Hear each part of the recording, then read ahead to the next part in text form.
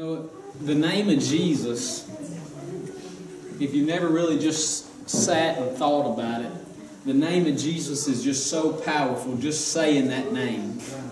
And I'm not talking about magic, mystical art, stuff like that. I mean, just the name of Jesus is so powerful, it can get you through any situation you're in. He's not just some billboard or some poster or some uh, a movie you watch with Jesus in it. He's the Son of God. He's your Savior. He's my Savior. It's not just another thing to say. It's not just another thought, another uh, story or fable. Jesus is God, and He lives inside of you if you're justified tonight. Amen. If you're saved, He lives inside of you. Amen. Amen. We all here tonight? Amen. Are we awake? Praise the Lord. Thank you for having me once again, Pastor Matt uh, and his family. Thank you for having me. Uh, it's an honor to be able to come and speak before you and to speak before anybody.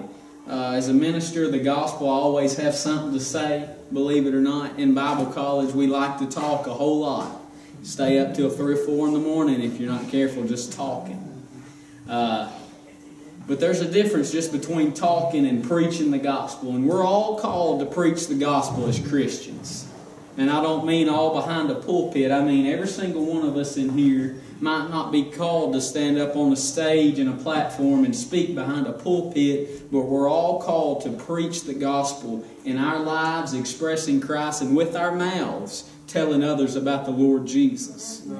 We're not living in another day than the book of Acts. We're still in the same time period as they are.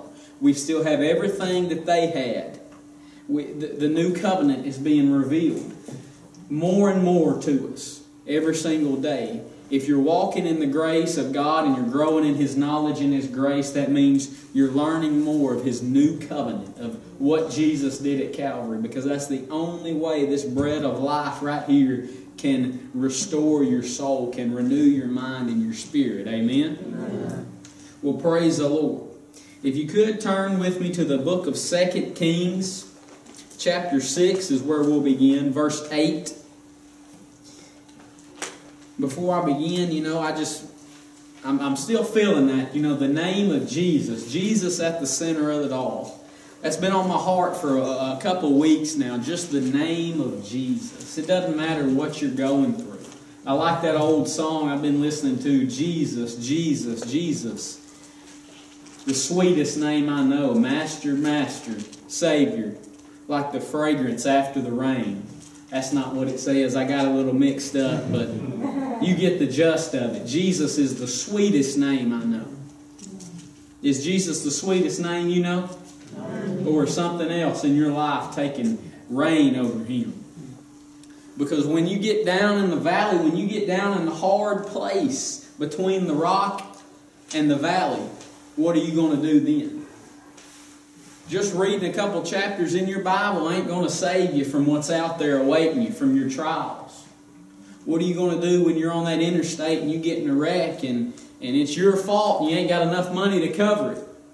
What about when you lose that job that is just you thought was the best thing in the world? That's when you say Jesus.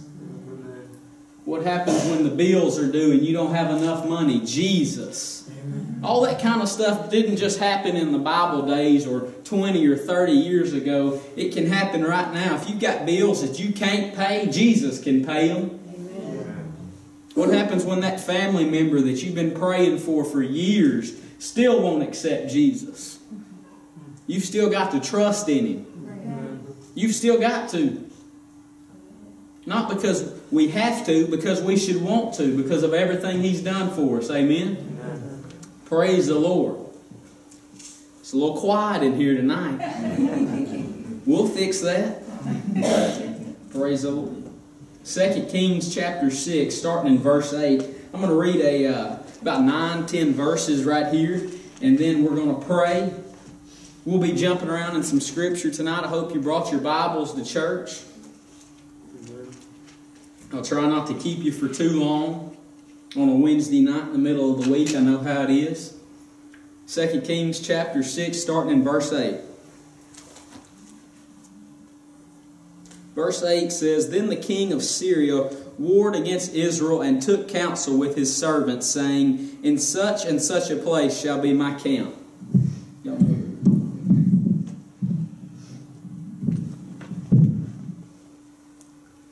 Verse 9 says, And the man of God sent unto the king of Israel, saying, Beware that you pass not such a place, for thither the, the Syrians are come down. And the king of Israel sent to the place which the man of God told him and warned him of, and saved himself there, not once nor twice. Therefore the heart of the king of Syria was sore troubled for this thing, and he called his servants and said unto them, Will you not show me which is of us is for the king of Israel? And one of his servants said, None, my lord, O king, but Elisha the prophet that is in Israel.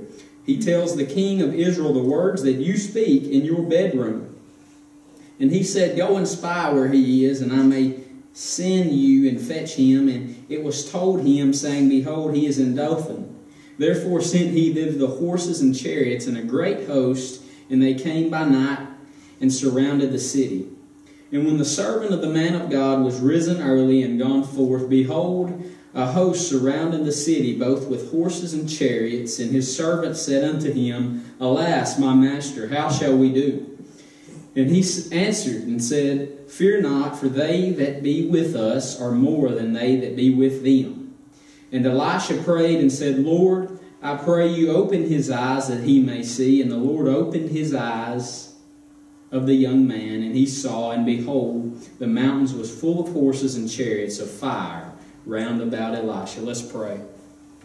Lord, I come to you tonight, and I thank you for being here with us, letting us experience your presence on a day to day basis, and giving us access to come into your throne room boldly, Lord. Lord, and I thank you for that opportunity to minister tonight, to be here, another chance to worship you, another chance to another opportunity, Lord, to, to wake up and worship you in spirit and in truth and, and to proclaim your gospel, Lord. I ask that you be with us tonight for the remainder of the service, Lord. Anoint my lips, Lord, to speak your word and right from my heart, Lord, that the true teacher, the Holy Spirit, would come and, and not me, but Lord, but you would speak through me, Lord. And I ask you to open up the, the hearts and the eyes of the understanding of all of us here that we might learn and be edified and encouraged tonight, Lord. I ask you to do this in the mighty name of your Son, Jesus. Amen. Well, praise the Lord. I don't normally tell stories, but I just felt feel led tonight to tell a story. what I want to talk to tonight about is really uh, um, looking to the things that are eternal and not temporary. And sometimes we find ourselves in certain circumstances where that's really all we can think about is what's going on right then. What they did, what I did, oh, I messed up, or this isn't going how I wanted it to. So I'm going to tell a story tonight that he's told several times, uh, and I've heard probably uh, millions of times throughout my life. But my dad, if you don't know him, uh, Curtis Hutchinson, pastors in Queen City, Texas, Crossway Church. I have this sticker on here. Um, when I was two, uh, we were in a charismatics church, charismaniacs, what we like to call it, because it was a bunch of crazy stuff. Everything, every wind of doctrine that came through town got blew into the doorsteps, and we grabbed a hold of it and preached it and did it. And I mean anything you can think of. People making fire truck noises, barking like dogs, clucking like chickens. You name it, we did it. I don't remember it, but I've been told several times by several people that were there. And uh, my dad was, has a, he was an associate pastor, and my mom he was a, a gym teacher. My mom was a work there, and uh, that was what that was their jobs. They were all about ministry, had something going every single night. And I was two, my brother was six, five or six. My older sister lived with us. And uh, it got to a, a place where, and it always happens if you don't know the truth of the gospel, uh, burnout. A, a, church split. And uh, we left the church, lost everything the land we lived on, the house that was on the land, all the vehicles, everything we had, we lost. Um, and if you continue in a place of not preaching the gospel, even if you're ignorant of it like we were, you'll lose everything. And uh, in that place, in that valley, uh, we began to hear, my dad began to listen to SBN over the radio. 100.1 Atlanta, Texas was one of the first stations that uh, Brother Swaggart put out there. And he began to listen to Frances and Friends and uh, began to hear about the message of the cross. Uh, and he began to hear all the scripture that backed it up. And at first, he turned it off, of course, and said, I'm beyond the cross. That was where I got saved. Why do I have to stay there? What's it going to do for me now? Um, but as he began to be, be broken and, and had nowhere to turn to, these circumstances, uh, they looked un, unbearable. We moved in with my grandma, a hundred year old house, one bathroom, three kids, a husband and a wife living with a grandma, my mom's mom, about 20 or 30 cats outside running around. Now, that's not the place a, a, a, a man wants to be in life with a family, right? You're a man, you don't want to live with your mother in law with 30 cats. I love my granny and I love my family, but you shouldn't want to live there. If you're a man, you should want to have your own house for your family, right? So you can see these circumstances that my dad was going through. He probably thought it can't get any worse than this. So he, the Lord brought him to a place of brokenness. And uh, I don't want to take too long telling a story, but pretty much what I want to say um, with all humility, no arrogance, but my dad, instead of looking at the circumstances, began to see how broken he was. And he, and he cried out to the Lord and said, Lord, all I know is that you love me and I love you. That's all I know. He had to come to a place of realization and realize all that back there was messed up because it wasn't in the Word of God. And he began to hear more about the cross and about how as you have received the Lord Jesus, so walk you in him. If you received him at Calvary, you walk by, with him daily by faith. That's how you're conformed into the image of Christ. And he began to learn more and more about that. And the Lord called him to pastor a church, to start a church, to build a church from nothing. And he, and he said, Lord, there's a hundred churches around here, literally, where I live, in a small town. There's a hundred churches around here. Why, why? And the Lord finally answered him and said, Nobody's preaching my truth the message of the cross, the gospel of Jesus, the power of God. Nobody's preaching my truth. And my dad said, How am I going to preach the cross for the rest of my life? And ever since then, every time he opened up the Word of God, he sees Jesus, not because of him, who he is, but because he asked the Lord with a broken and contrite spirit, like David said in the Psalms. He asked the Lord to reveal this to him so that we could live for God. And every page of every book on every book with every page in it is about Jesus and what he did for us at Calvary. Amen. And when you understand that, you can truly live for the Lord. Amen. And with no pride or arrogance, just to show you what will happen if you look beyond your circumstances and look to Jesus, the one that you're placed in at salvation. The Lord restored our land, our vehicles. A house was built on it instead of a double wide on it. The church has grown. People have been saved, lives have been changed, and it's all because somebody looked beyond their circumstances and looked to the eternal things and not the temporary things. Amen. Amen. That's all because that's that's what will happen. The Lord will prosper you financially, physically, but most importantly spiritually. The Lord will prosper you no matter what you're going through if you look to him and not what's around you. Amen. Just like we see in this story tonight. The servant of Elisha, he was looking at everything around like we like to do when we're going through something. He was looking at everything around him and began to doubt and he began to fear what was going on. The Lord opened up his eyes and let him see. Just picture that on a mountain, surrounded by the king of Syria's army. Probably so many soldiers. I'm sure he was shaking in his boots. You know, I'm sure he was terrified, but the Lord opened up his eyes. Elisha prayed that he would open up his eyes, and he saw all the, the angels and chariots of fire. How many of you know we live in a better covenant now? We live in a new covenant. We don't see a bunch of angels and chariots of fire, but that the very God that sent those is, is fought on our behalf at Calvary. He's already won. He's in us. We're not fighting against the devil. I hope everybody knows that. We're not out of, in a war, and, and I, I hear people say all the time, all the time, we're going to declare war against the devil. We're not declaring war against the devil. He was already beat. His head was already crushed. Amen. So we're not declaring war against the devil because if we did it by ourselves, guess what? We'd lose. But Jesus has already won. He's already conquered death, hell, and the grave. Amen. Uh, you know, as Christians going through things at times, we tend to uh, focus on what's bothering us in our circumstances.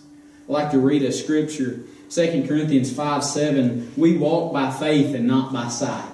Very common scripture we've all heard. Amen. If we're focusing on our situation instead of God, there's an issue of pride there because we're worried about what's going to happen to us instead of we, instead of realizing that every situation that God puts you in that's testing and pressing you it's for his glory. It's for us to have a closer relationship with him in the end result and during the trial. Have you ever found yourself in a trial uh, if you haven't, stay in the faith a little longer and you will. If you've ever found yourself in a trial or you're in one right now, sometimes it's easy to just start trying to fix it yourself or, or start trying to rely on things that take your mind off of it for a, a split second, maybe even good things. But when God puts us through things, He doesn't want us to use other way. He don't want us just to get through it, just to get by. He don't want us to look up a year later and we forgot about it. He wants us to draw closer to Him. The reason that God puts us through things is to get us closer to Him. Who wouldn't want to get closer to Him? Man, it's quiet in here. Has He saved you tonight? Has He filled you tonight? Uh, amen. Has He filled you tonight? Has He saved you? Do you know the truth of the gospel? Are you walking in His light? Maybe we're all in storms tonight. Maybe that's why it's so quiet. Well, maybe this is an on time word. It can be quiet. I know what that means when it's quiet. My mom used to tell me and my dad all the time we'd be preaching afterwards. We'd say, Man, it was just so quiet. I wonder if anybody was listening. And she'd say, We're just we were just taking it in. Just maybe, and that's what we're doing tonight. Amen. Hopefully. Praise the Lord. But when God puts us in something, it's not just to just to uh, learn more about ourselves. It's definitely not to learn self worth and self love and all that. That's a bunch of stuff that uh, it sounds good, but it's not right. I'm just going ahead and burst your bubble. You're nothing in your in and of yourselves. I'm nothing in and of. I'll say that firstly. Before you, I'm nothing in myself. Uh, God doesn't want to show us how uh, worthy we are he wants to show us how worthy He is and how, how, how unworthy we are. Amen. And if you look at Christ and Him up on that cross, and if you're looking at Him as the author and finisher of your faith, you're going to see how unworthy you are. Right. How unworthy I am. And if you're not in a place like that and you think anybody could have just died on that cross, then, you know, you're in a pretty dangerous place. Mm-hmm. Nobody but Jesus could have done what Jesus did. Jesus, Philippians 2 8, was obedient unto death. Jesus kept the faith so that now we could keep that same faith. Jesus conquered death, hell, and the grave. Andrew didn't. Brother Swaggart didn't. Pastor Matt didn't. Jesus died for you. That way, when you get in a tough situation, you don't have to rely on yourself just to be strong and I can get through this. I don't know about you, but when I'm in a tough situation, I'm a little crybaby about it. I want to reach up to heaven and hold my Savior in my arms.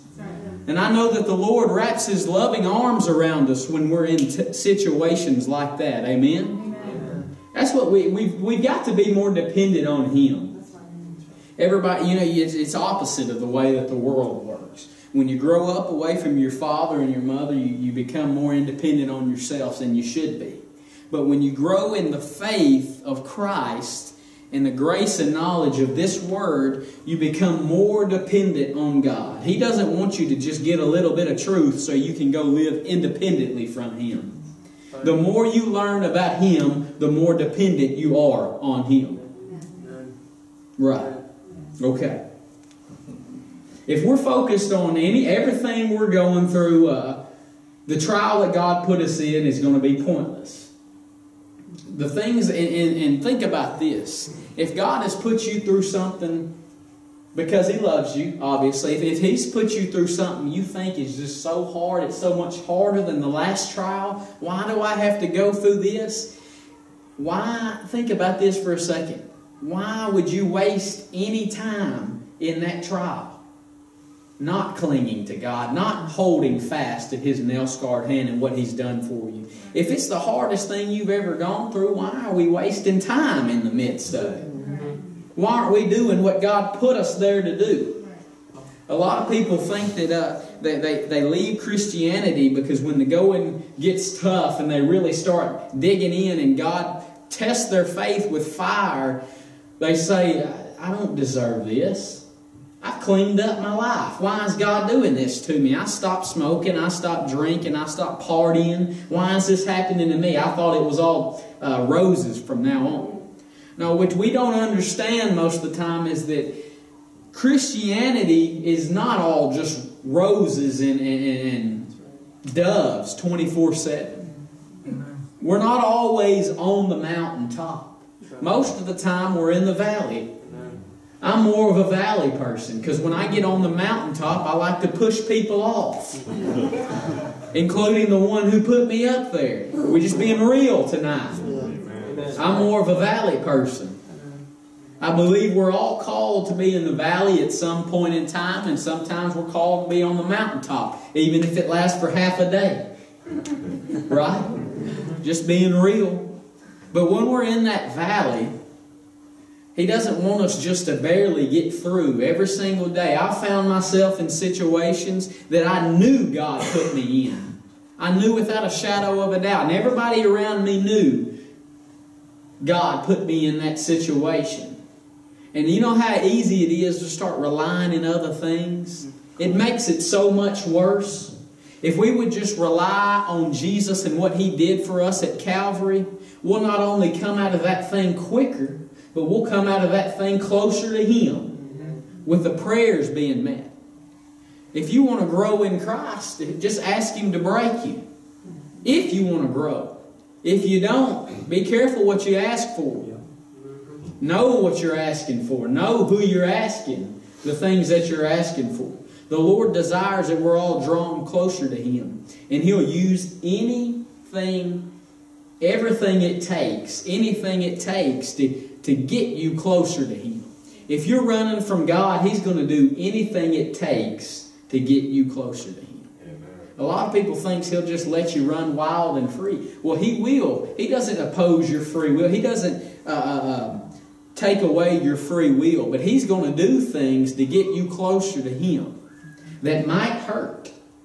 A lot of times we put ourselves in, in situations and we call it God putting us through trials, but really it's just us and our rebellious ways. If we would just know the will of God for our lives, and the only way we can do that is being in tune with Him, being in covenant with Him by His blood, if we would just know the will of God for our lives, we wouldn't put ourselves in situations that would hurt us so bad. God, there's a lot of things that we've been through, me and me included in my life, that God didn't intend for us to go through. But He can use that situation for the good.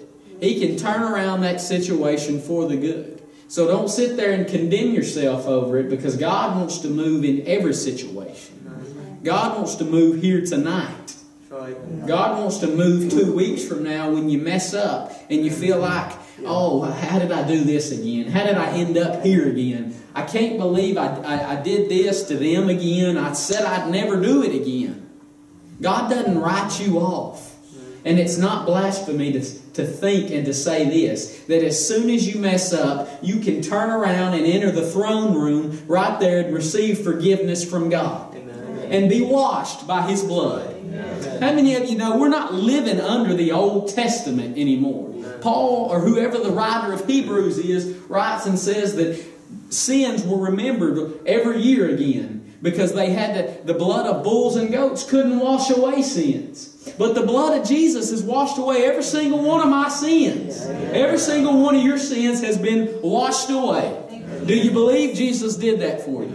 Do you believe that in the midst of your trial, it doesn't matter what's going on, you can go forward? Even when it feels like you're going backwards, you can go forward. Even when it doesn't feel like it, God can still be working in you. Even when you think His presence isn't there, it's there working in your heart. If your faith is in what only the Holy Spirit can operate in the cross of Christ. That is what He moves in. That's what He works in. If your faith is in there, it's not a question of maybe or might, He might be working just because you don't feel it. God is still working in you if your faith is right. Amen. Isn't that awesome? We can wake up and know that we're right with God. Now, I heard somebody say this yesterday. I don't remember who it was, but they said, even when I mess up and get in the flesh, I can repent and ask for forgiveness and know right there in the midst of that, of feeling like a failure, I'm still right with God. He still looks down at me and sees me as righteous. The God that created the earth. Think about all the people that's ever been on the earth, that's ever walked the earth, and you were on His mind at Calvary. Amen. You. He knew everything you would ever do that would displease Him, and He still gave His life for you. Yeah. The Lamb was slain before the foundation of the world, and He knew everything. You know, God's never had a new thought. And the Bible tells us in the book of Psalms that we're always on His mind. I believe that's in Psalms 92, but if it's not, I'm sorry. But if God has never had a new thought, and we've and we've always been on his mind, we're always his thought his thoughts are ever on us, is what it says. That means that God's been thinking of us from eternity's past. And there's no beginning to God, and there's definitely no end to God. So he'll be thinking about us for all eternity. And if that doesn't get you excited in the midst of your trial, it isn't it funny sometimes how we just look around and just get so upset at the silliest things. One day when we're in heaven, we won't be thinking about it, but if we could, we'd be looking back and saying, Why was I even worried about that? Come on. If we really got a hold of how good God was, who He is, and what He did for us, and including myself, then in the midst of the storm and in the midst of the trial, we wouldn't be affected as bad as we are. We can look up and say, "What? Oh my! God that created the heavens of the earth sees me as righteous. Yes. No matter what I did two hours ago, God looks down and sees me as righteous." Placed in His Son Jesus, seated at the right hand of Him. All the benefits are mine. All the benefits are yours. Did you, I, did you hear me? All the benefits are yours. Every single thing that Christ has is yours. You're joint heirs with Christ. You're not some cousin. You're a son of God. You're a daughter of God. You're not a stepson. You're not a stepdaughter. You're not a, a half brother or sister of Christ. You're in the bloodline of God. And when we go through things, if we would just think about that. When we wake up in the morning in our trials, the first thing we think about, if we would just, Jesus. If we would just say, Jesus. I'm justified by your blood. God, you called those things that aren't as though as which they were, and you justified me. Man, my Lord. I'm about ready to shout up in here tonight. I've just preached to myself tonight. Hallelujah. I'm glad y'all are here tonight, and I'm so glad to be here. Every, every chance I get to preach is just uh, uh, really humbling to me get to speak the, the, the, the Word of God. And I, and I appreciate you for having me. Like, you're so receptive. You remind me a lot of my home church back in Queen City. Just love the Word of God, love the gospel. And I see the faces that you make too when I say th- when I m- maybe say something that ain't all the way right, but I correct it. I, I'm glad you're being attentive. I'm glad that Pastor Matt's teaching you the Word. And I'm not saying I'm getting up here and spilling out false doctrine. And you know what I mean. When I say something like uh, Moses built the ark or Noah let out the children of Israel, you know what I mean. But this is a place that preaches the Word of God, how it should be. You, you know everything that's being said tonight. I'm here to encourage you again and hopefully teach you a little bit uh, uh, about certain things. God has, in the midst of our trial, if we're being dominated by fear, that's a place that God never intended us to be. God has not called His children to be a, a people of fear. Um, and, and we're all guilty of that at times. Being any worry, any stress, any doubt is not of God. That's not who He is. Uh, what He's done for you eliminates all that. And you might say, well, why do I keep finding myself in this place? Why do I keep uh, why am I fearful 24 7? Well, let's talk about it tonight a little bit. Faith is the opposite of fear, vice versa. Fear is the opposite of faith. Where there is no faith or there is faith in the wrong object, fear is controlling that person. Been there. I can testify to that.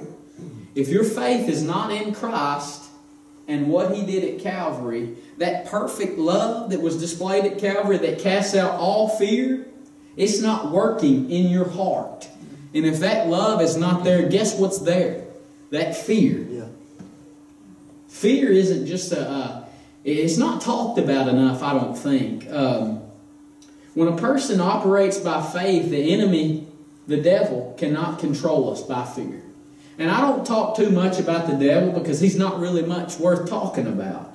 Uh, he was defeated, and I don't have to deal with him if my faith is in Christ and what he did. But tonight I want to talk a little bit about uh, fear and uh, whenever we trust in anything other than Christ and his cross, we revive the sin nature. That's in Romans chapter 7, and we're going to talk about that just for a little bit. And when we revive uh, the sin nature, the devil can use fear as a force of destruction of our faith in our lives. I'm going to repeat that. Whenever we trust in anything else other than Calvary, the devil can now, we've now opened the door for him to use fear to influence us, our decisions, to use the sin nature to control us by fear we open the door to a whole new ball game that God is really forbidding, the Bible says. What shall we say then? Shall we continue in sin? God forbid. Let it not be so, is what that means translated in the Greek. God doesn't want us to be dominated by the sin nature. It's not normal for a Christian to be operating in fear and not in faith. Could you turn with me to Romans chapter 7, verse 14 tonight?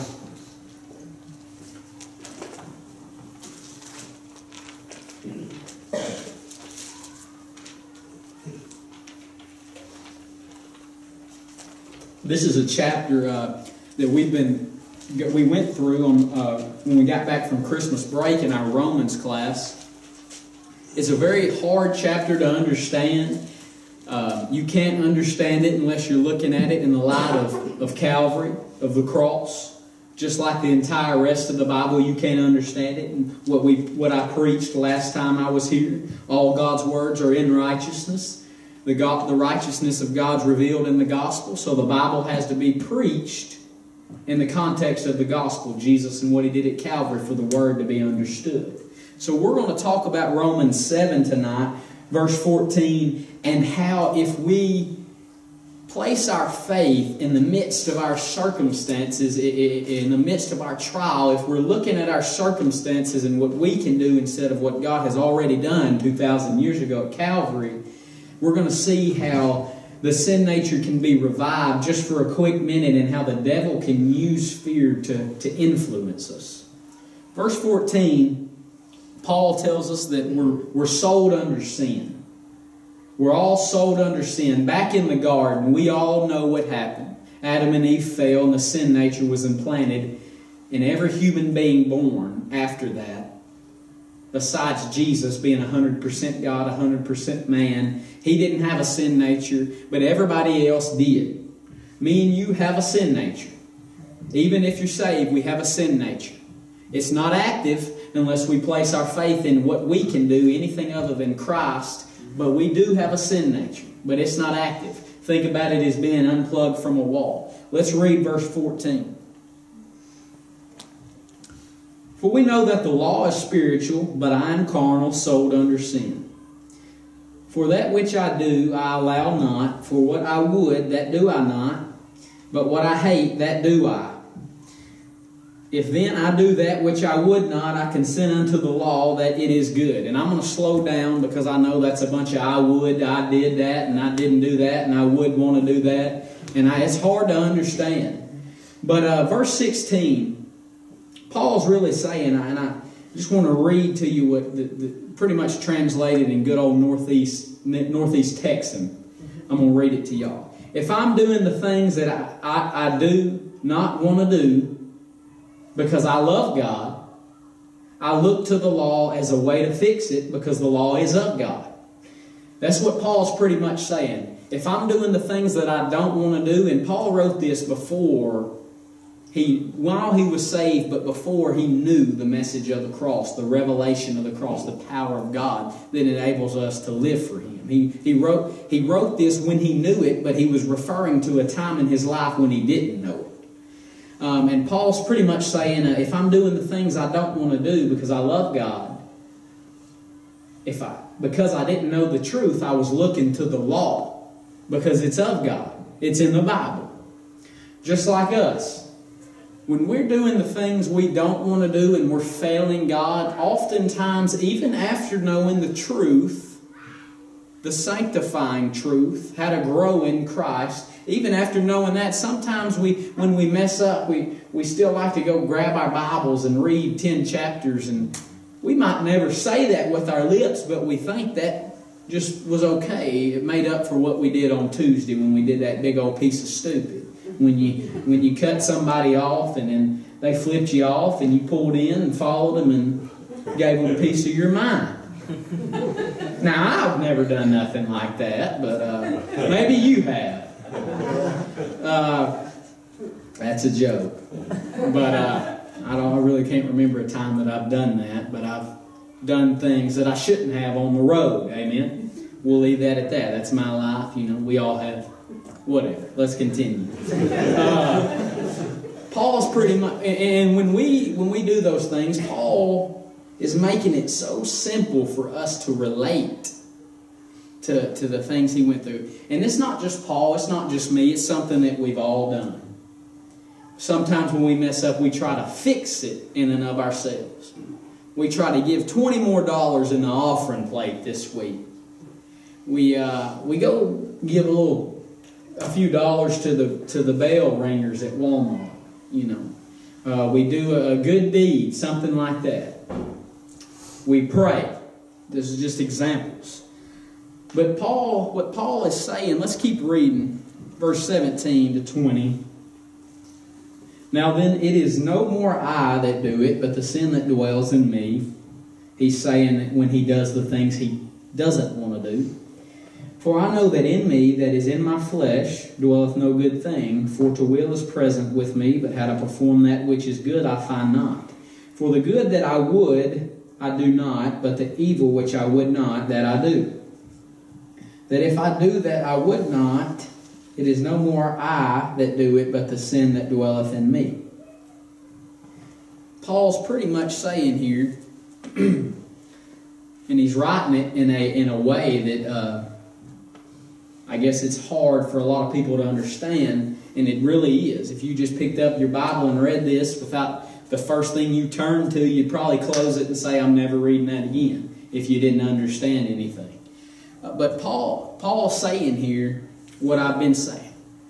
If we consent to the law or anything, if we look to the law or anything other than Christ for, for our, not just for salvation, but after salvation, once we're already saved, if we look to that as a way to overcome fear, as a way to overcome this thing in my life, uh, this thing, my attitude, my cussing problem, uh, or if you just mess up, if you look to law, the sin nature can be revived and fear comes back up in your life, and the enemy, Satan, now can you've now opened the door to him to influence you by fear. But like I said before, I don't like to talk too much about the devil because he's after Calvary, if your faith is in what crushed his head, because Genesis 3.15 said, the seed of the woman will crush your head, devil. God spoke that directly to him. It was a promise, and it happened. That lets me know that now my, that my faith is in Christ, the devil can't, he can't do me no harm unless I turn and look to him, unless I open myself up for harm. You know, how many, how many of you know that the, the devil can't be everywhere at one time? He's not omnipresent, that's God. The devil can't read your thoughts. First time I heard that, I was like, well, how is that possible? The devil can't read your thoughts. You're a child of God. You're a saint of God. Do you really think that somebody like that can read your thoughts when Christ is dwelling in you? No. He can speak lies to you, and as you begin to talk and, and say these things, if you believe those lies, fear will grip you and control you if you turn to anything other than Christ and what He did for you. But the good news is, the bad news is, that the, law of the mind, the law of our willpower, us saying we're going to do something and, and, and doing this to overcome that, the law of the mind is not as powerful as the law of sin and death, and the devil operates according to the law of sin and death. That is how he is able to do what he does. If the sin nature is revived, the law of sin and death is the law that we're serving, that we think that we've placed ourselves back under. But the good news is Romans chapter 8, verse 2, right here on the next page, the answer for a victorious and fearless life. For the law of the Spirit of life in Christ Jesus has made me free from the law of sin and death. Well, that tells me right there that because of what Jesus did at Calvary, there's a new law written in my heart, and it's the most powerful law. It overrides the work of the enemy, the works of my flesh, the pull of the world, the pull of Satan, and the lust of my mind and eyes. Verse 3 For what the law could not do, in that it was weak through the flesh, God sending his own Son in the likeness of sinful flesh, and for sin, condemned sin in the flesh. That tells me that every single thing I'm struggling with, anything I'm going through that's not of God, has already been condemned at Calvary in the flesh. So when we put our faith in what Jesus did at Calvary, those things begin to fall off. Now I'm going to say something with you and I want you to bear with me because a lot of people has said this in times past, but it's just not biblical. God puts us through trials, yes. He leaves certain things in our lives, like we see Paul talked about the thorn in his flesh. He leaves certain things in our lives to help us to rely on Him and to grow. But God isn't leaving a sin bondage in your life to help you to grow. That's right. If you have an attitude problem, God hasn't left that in, in your body, in your soul and spirit for you to struggle and for you to suffer with. God isn't leaving that in you for you to trust in Him. He wants you to trust in Him so that can be taken out of you. Because if that were true, if God did leave certain things in our lives, like sin, bondages, things like that, that would mean that He condones sin. And God does not condone sin. God cannot be in the presence of sin. But He puts us through certain trials to grow closer to Him, but He doesn't condone sin. If you will put your faith in Calvary tonight, that will fall off. Mm-hmm. Yeah. Amen. God's not going to make you wait two weeks after while your faith's been in the cross for three months for that thing to fall off. It'll happen instantly. And the way that you'll know is the desire will be gone. You won't have to just force yourself not to even think about it. You won't want to do it. And if you have some bondages in your life tonight, God's called you to walk in a place free of bondages. As I found myself in bondages in years past, being dominated by sin, I realized that's not a place that God wants a Christian to be in. You're frustrating the grace of God. We've, we've frustrated the grace of God when we're being dominated by darkness and, and evil powers and influenced by the lies of the enemy. If we would serve God by faith in His Word, what He did at Calvary, because faith comes by hearing and hearing by the Word, if we would serve God, then that perfect love that works by faith could move in us and we could live a victorious life for Him. God's called His children, me and you, to walk in a place where our minds are set on things above and not things around us. The whole thing I want to, the whole point I want to get out, and we're going to read uh, just a, a few more, a couple more places tonight. I'm not going to keep you too much longer. But the whole point I'm trying to make is that even though I know there's people in this room going through things right now, because that's how Christianity works. We're not always going to be on the mountaintop all the time, like I said earlier.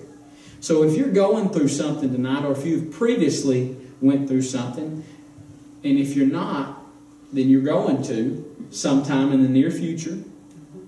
Amen. I'm not speaking negativity in your life. I'm just telling you the truth. Uh, if you're going to, God wants to remind you tonight that we're to have our affections set on things above. In the midst of your circumstances, you're not to look to your circumstances. And I'm not talking about saying that that's really not happening. I'm, I'm in heaven and, and with Jesus, and that's not even happening to me. I'm, it's not, I'm, I'm too good for all that. That's not what I'm talking about. I'm talking about in the midst of a fiery trial, whether it be good or bad, and the truth of the matter is every single thing we go through to us is bad. We can think that it's, it's, it's, it's a little bit easier than last time, but it's still hard. God doesn't put us through things that are just easy where we can get through it just by taking a nap on it or something. Mm-hmm. If you can do that, then it's not a trial. That's just something that you need to man up and get through. Right? But God, you'll know the difference. God, God puts us through things that forces us to rely on Him, and if we don't, we will be miserable. But God doesn't give us any trial that's beyond of what we're capable of getting through. That's what the Word says. That's what the Bible says. What your Bible says. God puts us through things so that we can rely on Him. But God has called us as His children during those things to set our affections on things above. Colossians chapter 3, verse 1 through 3.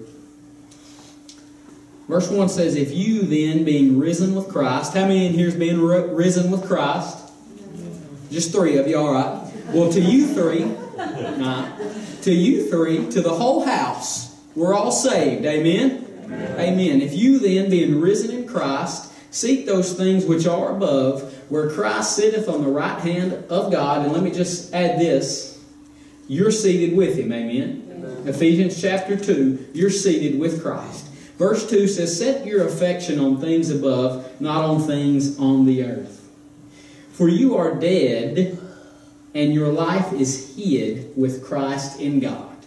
We can be hidden in Christ, protected from the attack of the enemy, the pull of the world, and the lust of our flesh. Are those things going to still come knocking? Yes, they are, but guess where you are? Seated in heavenly places with Christ. That's why when people say, oh, they're too, they're too heavenly minded to be any earthly good, that's a testimony when people want to come up and start talking about that and uh, all that right there and all this false doctrine and stuff, and you're, you're they call you too narrow-minded, well, get off this cross stuff and just be a little bit open to this. Look what it's doing over here. Look what all this uh, is doing for the young generation or for the older generation. Well, my Bible says that God, He never changes. And He's been working the same way from the foundation of the world. The lamb was slain. I've already quoted it. 1 Peter 1.20 from the foundation of the world. God has been working through that. Psalms 33 4. All God's works are done in truth. He's been working through that since the beginning of the world. Before it was even done, God was mandating and orchestrating everything that He did through the sacrifice of His Son Jesus. So when people come up and, and say that you're you're too narrow minded, and just tell them your affections, is set on things above. It's set on Christ and what He did at Calvary. That's where our mind should be. That's where we should be focused. You know how many times I've heard that in my life? You think about the cross too much. Oh, he's preaching again. Oh, what's he going to talk about? The cross. We know he is. We're not going to learn anything. We might as well just go read a book about the message of the cross or something. You know, that mindset is not a mindset of people setting their affections on things above. Mm-hmm. That's a mindset of pride. And it's not just me they say it to. It's anybody that preaches the Word of God in the context of its righteous righteousness, its righteous context, and in the context of Jesus Christ. You'll get made fun of, you'll get blasted all over social media if you have a Facebook or two Facebook, like I like to say. You'll get made fun of, but guess what? It don't matter. Because what we go through in this life can, can't even be counted as worthy as what we're going to go, what we're going to gain in Christ in heaven. And what we've already gained. The things that we go, go through right now, they're not worthy to be compared to our salvation or our growth in Christ. He's called us to walk in a place where all we think about is Him. What I said when I first got up here, there's no harm to keep your mind stayed on Jesus. That's a song that I used to just sing, but, but I really started to think about it. There's no harm in that. People can call you all kind of stuff. They can say you're, uh, you talk about Jesus too much, all that stuff. It, that's, you're a little bit too serious with it. I love the Lord, and I'll go to church on Easter, but I want to do what I want to do during the week. I don't want to have to read my Bible and pray and, and not be able to do these things. And you know, uh, everybody says they're desperate for the Lord, and unless they're doing something that's pleasing their flesh, then they're saying, God, I'll be desperate for you on Sunday. And I'll lift my hands and get on my knees on Wednesday night, or when I need you, or when all is going wrong in my life and everything's in shackles, then I'll cry out to you, God. When many don't realize that if we were crying out to God, my people perish for lack of knowledge, and if my people would humble themselves and pray. We don't realize that if we would cry out to God on a regular basis and keep our faith where it's supposed to be, those things wouldn't have to happen. Not that you're never going to go through anything, because, like I've said tonight, God uses things like that for a good purpose. But, but some of the things that we go through, God didn't intend for us to go through. And we can save ourselves a lot of harm, a lot of time, a lot of pain. Amen.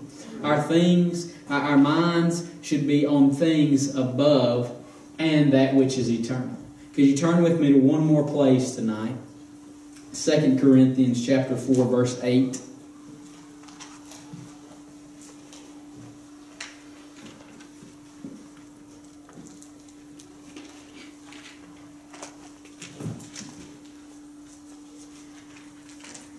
This is a, a well-known passage of Scripture. Uh, Paul is uh, he's really talking about ministry, suffering for for preaching the gospel for Christ's sake. But he's also talking about just living this Christian life.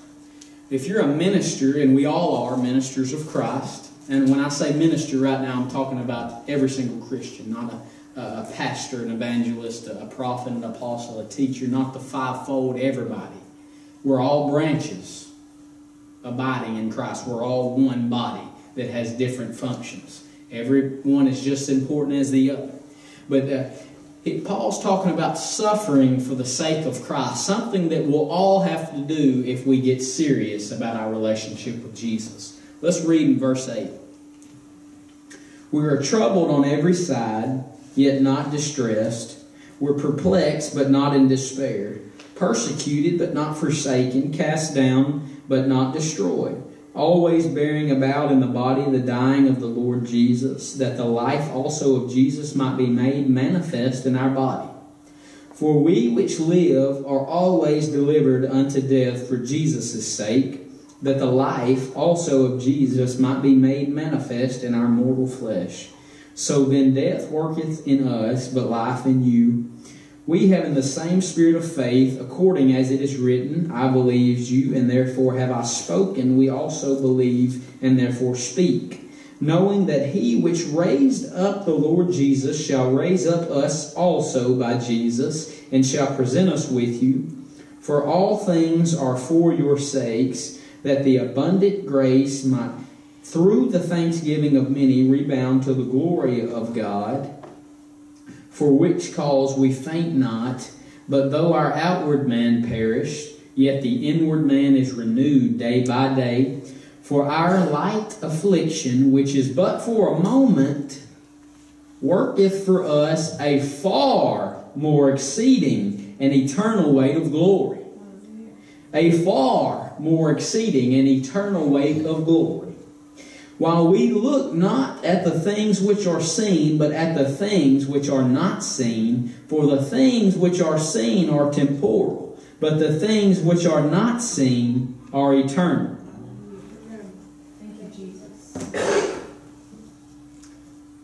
the light affliction that we think is so bad right now works in us a far more exceedingly great weight of glory. Hallelujah.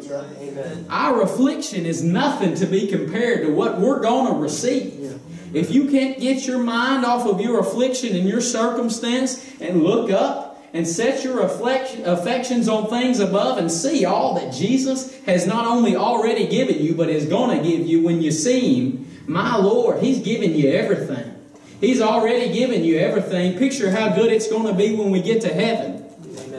A far more exceedingly weight of glory. Praise the Lord. Eternal weight of glory. Somebody's going to get it here tonight. A far more exceeding great weight of glory. Amen. God is going to put a weight of glory on you in this lifetime if you let Him. Amen. He's already given us the Holy Spirit. What a down payment to working in us, quickening our mortal bodies.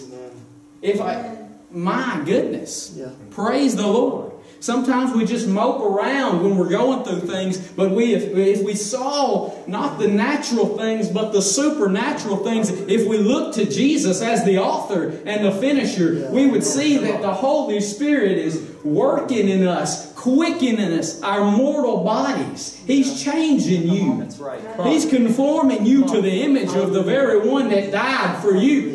He's saving you. He saved you, justified you, and He's continually saving you and changing you into His image. Oh my goodness. Hallelujah. Somebody's going to get it. Somebody is going to praise the Lord in this place tonight. Come on. A far more exceeding weight of glory is what's for you. If you keep the faith, if you finish the course, if you run the race, God's got a far more exceeding weight of glory Yes. for you. Hallelujah. Praise Him. Thank you, Lord, for what you've already done for me. Thank you for what you're going to do for me, Lord. We praise you in this place. A far more exceeding weight of glory is what He's got for His children. Not a spirit of fear, not a, a bondage, a, a spirit of laziness, of heaviness, but a far more exceeding weight of glory. He purchased you with His blood. And He purchased every single benefit. If we would grab a hold, if we would realize what He did for us at Calvary, we would have a far more exceeding weight of glory. Praise the Lord. He's good, isn't He? He's not called us to a spirit of fear, a spirit of lack. In Christ, there's no lack. He's my shepherd. I shall not lack. I shall not want. In Christ, there's everything. In Christ, there's peace. In Christ, there's happiness. There's joy. There's meekness. There's humility. There's the fruit of the Spirit. There's a new car if yours breaks down. There's a new job. There's a wife. There's a husband. There's a house. Your relationship's fixed in the name of Jesus. Your body's healed in the name of Jesus. The far exceeding weight of glory is yours in the name of Jesus. The addiction is broken in the name of Jesus. Not in any other name, but in the name of Jesus. You can get out of your bed in the morning and quit feeling sorry for ourselves and wake up and see that it don't matter what they did. It don't matter that I lost that, that I did that last week. Jesus redeemed me at Calvary and has given me a far more exceeding weight of glory. A far more. Praise God.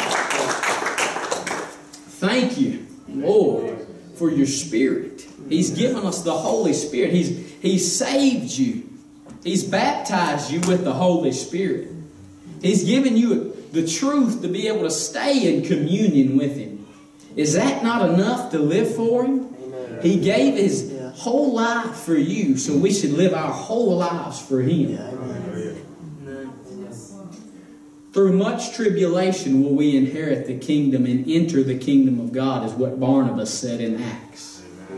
If we can't withstand a little bit of tribulation, a, a little bit of persecution, and, and we've seen nothing yet.